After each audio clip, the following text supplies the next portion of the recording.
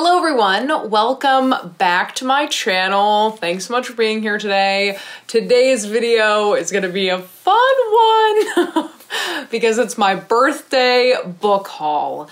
So if you're seeing this video on the day I post it, it's my birthday. Officially my birthday.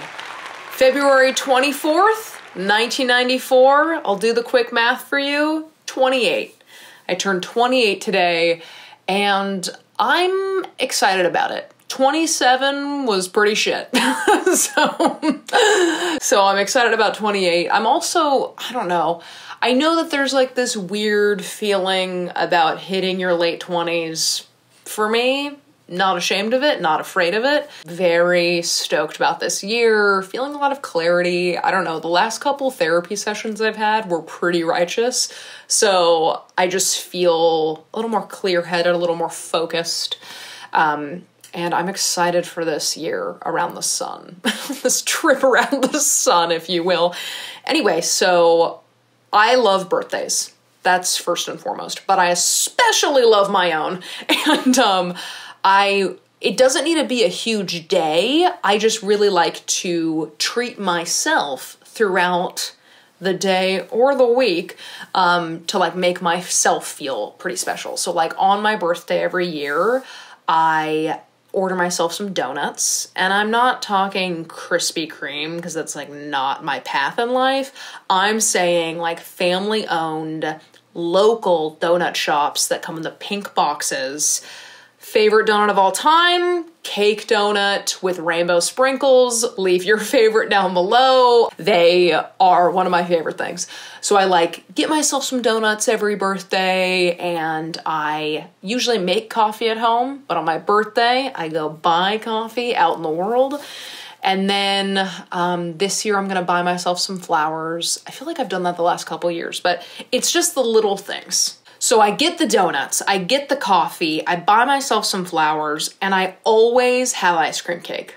Every every birthday I get ice cream cake since I was a child. Let me insert a photo here now. This is me at like 2 or 3 with my ice cream cake with a big bird on top I'm all about the ice cream cake and I just love it. So this year, I'm gonna do those things, right? I'm gonna get those donuts, I'm gonna get the coffee, I'm gonna do it.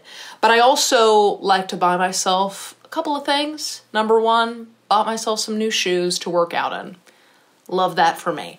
And then I also have this heavy bag of books that I went out and bought today. So only one of these books was a book that I like went to the bookstore looking for. I knew one. the rest are all just books that caught my eye or books that I didn't realize I was gonna find today. And I'm just really stoked. We've got a short story collection, we've got a mem- memoir, we've got a romance that I didn't think was out until March 1st. Apparently not. Apparently it came out a week earlier than I thought it was. Um, so I've got a good stack. I've got a fantasy, a fantasy novel? So it's gonna be good. I'm really excited about it. And uh, let's just jump in. However, wait, hold on. First, I would like to ask what your ideal birthday is. Like, what's your ideal birthday breakfast? What's your ideal birthday dessert? Do you even really like dessert? What's your birthday drink of choice? Let me know. I love birthdays and I also love to hear how we all love being celebrated in very different and small ways, right? So, anyway, let me know down below. And now let's get into the books. I'm just gonna pull the first book out, which is Graham Norton's Home Stretch. Uh, Graham Norton, the talk show host, I didn't realize was an author. This is his third book, so I'm far behind. I'm really behind. Did not realize that he wrote books. Apparently, all of them take place in Ireland, which is pretty sick for March, right? Super stoked. Also, I don't think I've talked about this book in a video, but I also just picked up this a couple weeks ago or a couple months ago, and it's this. I think it's going to be great for St. Patrick's Day, March. Um, two old friends reconnect in Dublin for a dramatic, revealing evening of drinking and storytelling in this winning novel. So anyway, that's not, I mean, now it's in the video, but this wasn't part of the haul, so I'm gonna just put her back to sleep now. There you go. Um, anyway, so I didn't know that Graham Norton was an author and found that out today. I was 28 years old when I found out that he's an author. Um, but the, I mean, so first I just noticed his name because I watch Graham Norton clips religiously, just like the same five clips over and over again. Um, and so when I saw his name, I was like, there's no way. And then turns out if there's a will, there's a way. Um, so, anyway, here is the synopsis. It is 1987 and a small Irish community is preparing for a wedding. The day before the ceremony, a group of young friends, including the bride and groom, drives out to the beach. There is an accident three survive, and three are killed. The lives of the families are shattered and the rifts between them are felt throughout the small town. Connor is one of the survivors, but staying among the angry and the mourning is almost as hard as living with the shame of having been the driver. He leaves the only place he knows for another life, taking his secrets with him. Sounds like he's to be living with some secrecy, some guilt, some regrets that are to haunt those left behind. Um, so, definitely not what I expected from Graham Norton. I did read the synopsis before I bought it. Um, but did you just hear my hip crack? this is 28. Um, Anyway, uh, definitely not what I was expecting from this like comedic talk show host, but sounds excellent. And when I looked up the reviews, it has over a 4.0. So it got straight A's on the reading exam. So anyway, that's the first one. All right, next up, we've got a memoir, which I'm super excited about. I'm trying to read more memoirs and, and short story collections in 2022. And so I picked up Somebody's Daughter by Ashley C. Ford, which, I mean, I love that it's a memoir, but it sounds devastating. It sounds like there's violence and questions and mystery in her life and unwanted attention and um, abuse. And so it's definitely not going to be an easy memoir, but I think it's going to be beautifully done. It was blurbed online by Roxane Gay, so I'm really, really excited to read this one. And um, I just think it's going to be fantastic. And again, I'm trying to read more memoirs. It is a signed edition, so I'm even more excited about it. Um, but yeah, I think it's going to be wonderful. I'm hoping to read it very soon, and so I will let you know. But if you have read it, let me know what you thought. Because again, it sounds fantastic. All right, next up we have the fantasy of this book haul, which is actually my book club's March book pick, and it is The Fifth Season by N.K. Jemisin. I mean, just take a gander. So, can I be truthful for a second? I don't read much fantasy. Um, it's just not really my genre, but it is my book club book pick. And so I was like, okay, cool. I'm going to step out of my comfort zone. I'm going to read something in a genre I don't usually read from. But I'm pretty stoked about this one because, I mean, number one, out of the comfort zone, genre wise, love that. But also, I have seen this cover everywhere. I have seen this book so many times. When I looked for it today, I was like, this is like recognizing someone out in the world and not knowing exactly how you know them, but you know them, right? That's how it was finding this book today.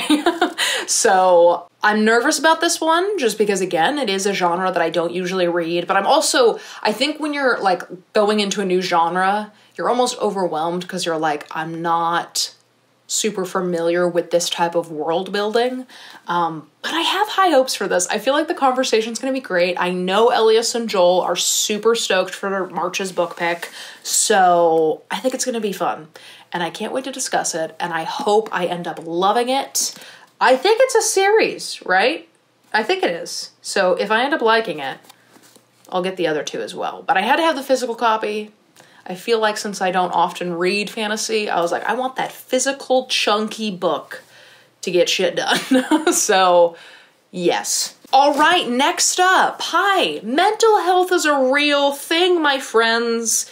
And after being diagnosed with severe anxiety over the last year and just like really leaning into panic attacks, which definitely don't recommend. Not my favorite way to spend my evenings. But because of that, like because of this kind of shift in my mental health over the last year, I am very interested in stories, memoirs, novels that have something to do with anxiety. So I saw this cover and I was like, that's cool. And then I read more about it and I was like, anxiety, let's read it. Um, but that is My Mess is a Bit of a Life. And it looks like a little juice box. I love a bold cover. And not only is this orange and yellow striking, but it's also just like a juice box what secrets lie within? But I think it's just um, like a memoir through short stories about anxiety. And they're pretty short little blurbs. Um, and I just, I am very invested in my mental health over the last year and continuing through the rest of my life. But I definitely wanted a book that kind of talked about anxiety. So that sounds great. All right, next up is the book that I knew I was going to buy today. I mean, if they had a copy. Um, but that is Amy Tan's The Joy Luck Club. This is a book that is beloved by one of my fellow grad student friends. She loves this book. I think she's written papers on it, I believe. And I'm really excited for it because of how much my friend loves it. So it says in 1949, four Chinese women recently recent immigrants to San Francisco begin meeting to eat dim sum, play mahjong, and talk. United in shared unspeakable loss and hope, they call themselves the Joy Luck Club. With wit and sensitivity, Amy Tan's debut novel, now widely regarded as a modern classic, examines the sometimes painful, often tender, and always deep connection between these four women and their American born daughters.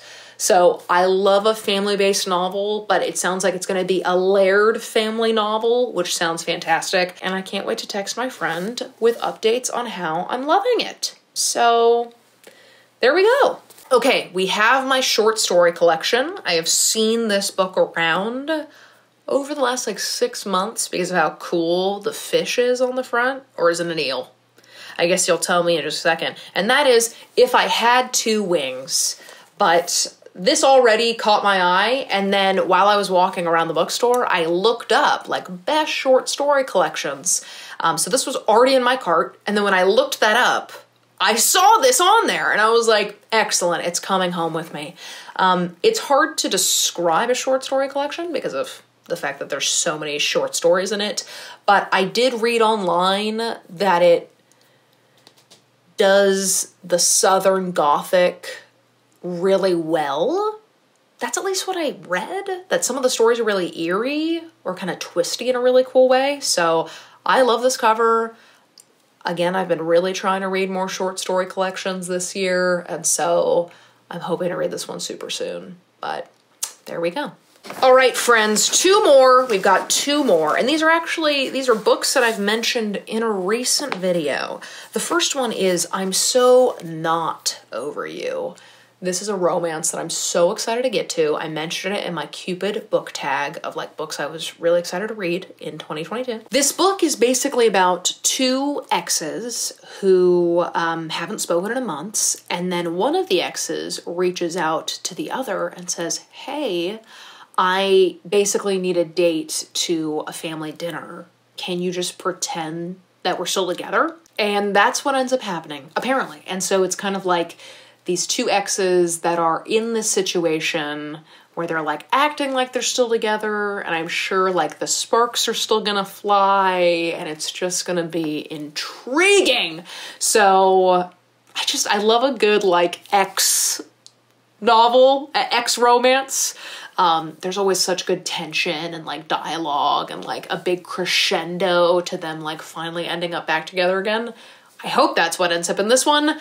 I'm super excited about it. So there you go. All right, and then the final book I picked up is a book that I didn't think came out until March 1st. Turns out it's out. I mean, it's clearly out because I found it today, uh, but I was shocked. I actually like did a double take. I was looking at this big table of books and I looked over and I was like, there's no way I just saw that. And then I turned And there it was. That book is Hook, Line, and Sinker. This is the second book after It Happened One Summer. Are you seeing that? Do you recognize that cover? Um, by Tessa Bailey. So I read It Happened One Summer last summer and um, I enjoyed it. The steam was great. And I loved that it took place like in this cool little fishing village. It was very cool. Didn't love the main girl. I think you she grows on you in the end, but like I just I felt like I couldn't really connect with her, especially for like the first third of the book. But this book is about her younger sister and about another fisherman in this town. And you get a glimpse of their tension at the end of the first book, and I was intrigued. I'm gonna be honest with you. I was like, can we wrap this one up so I can get to the second one, please? Um, and so I've been waiting maybe five long months for this one to come out, and it's finally here. I've been trying to really read a lot of my romances as ebooks these days, but because I already own the first one, I was like, might as well get the second one. And I really like this teal. So, anyway, um, I'm excited to read this one. I wish I could get it done by the end of February. I don't think it's possible. It was a pleasant surprise seeing that it was out earlier than I expected. Again, did a double take. I was like, what now? What now? It was like one of the tables near the cash register, so I was like ready to go, and then I spotted it. I was like, yes, get in the basket. We're going home. So, anyway, those are all of the books that I picked up for my beautiful little birthday book haul. Um, birthday book bitch. The three B's. That's the end of this video, my friends. I hope you had fun, and I hope to see you in the next one. Bye!